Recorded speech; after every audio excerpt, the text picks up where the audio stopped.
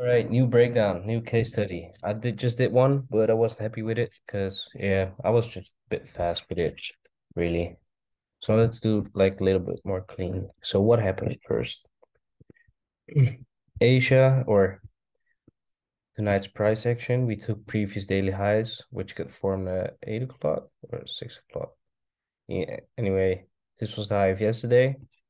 Then we took this internal high and let's make it a little bit more clear. So look, that's better. We took this internal range liquidity at the, at the top.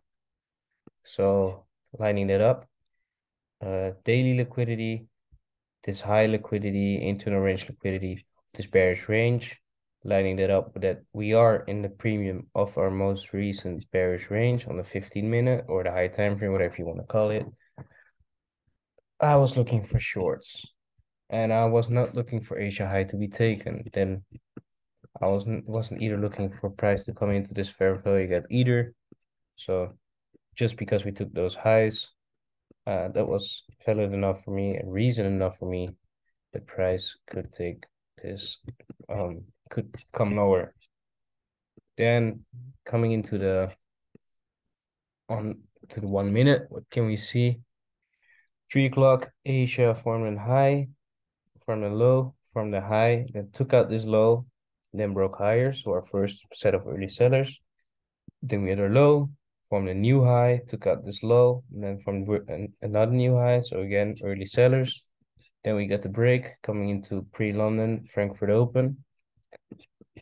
What can we see? We can see the liquidity buildup um, below this three-minute order block. We have a five minute order block above here as well. Then before taking that liquidity, we got another set of early sellers because high, low, lower high, lower low. Break to the upside, break to the downside. And then price came up, Frankfurt open, entry from the three minute block above this liquidity short.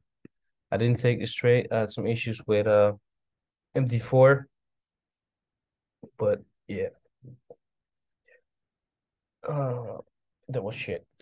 But so I was waiting initially for price to come up higher and enter from the five minute block to take this internal range liquidity as well. But as we can see, this five this block, this three minute block already took this. So it's really a strong strong block, in my opinion. Should have taken that, but I was angry. I wasn't at the charts. Unfortunate, but that's trading. It's a mental game. Clean liquidity build up below the block. Slow down. Frankfurt open. Down. One to five is hit. I have to break in the range, but that's no problem. And targeting Asia low.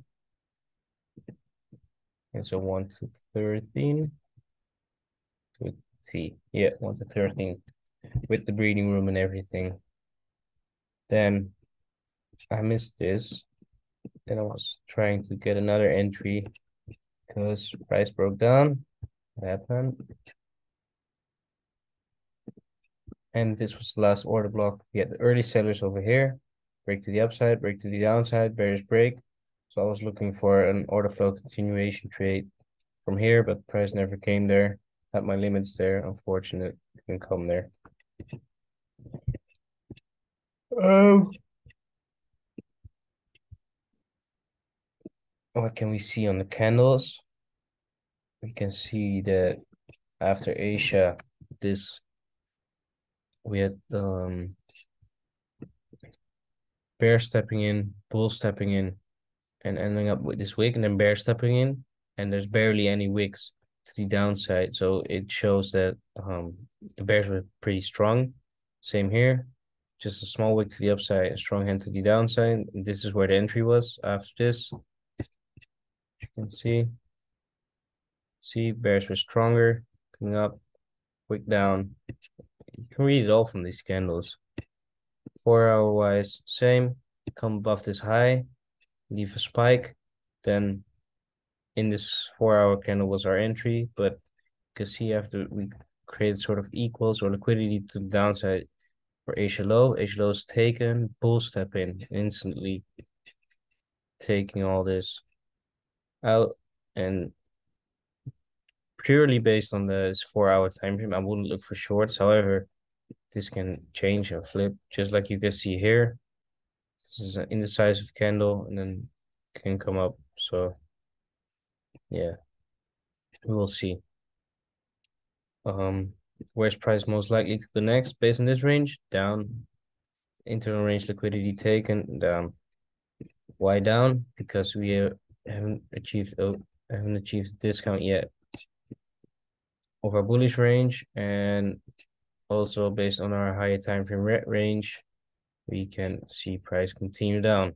So that's what i'm looking for for now. And let's see what happens. Stop share.